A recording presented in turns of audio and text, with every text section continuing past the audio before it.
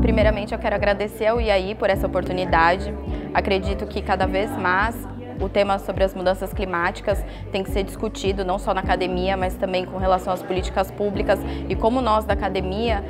podemos colaborar para que ocorra essa interação entre as diversas áreas do conhecimento em prol do futuro do nosso, não só do nosso